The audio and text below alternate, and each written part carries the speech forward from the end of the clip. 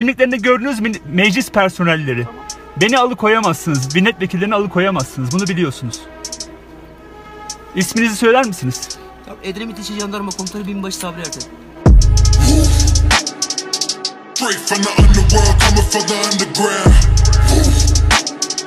Motherfuckers better watch out for the mailhounds.